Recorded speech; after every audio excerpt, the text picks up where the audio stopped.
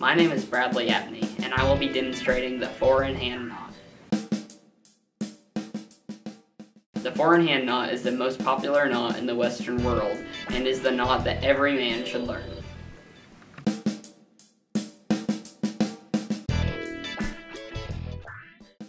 Start with the wide end on the right and the narrow end on the left.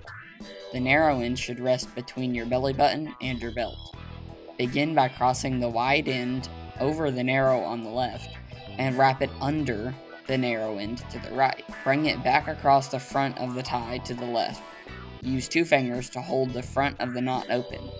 Now bring the wide end up through the neck loop from underneath and down the loop in the front.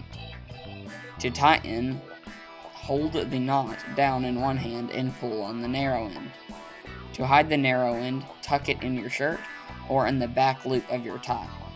If too long, start over and adjust the length of the narrow end or wide end.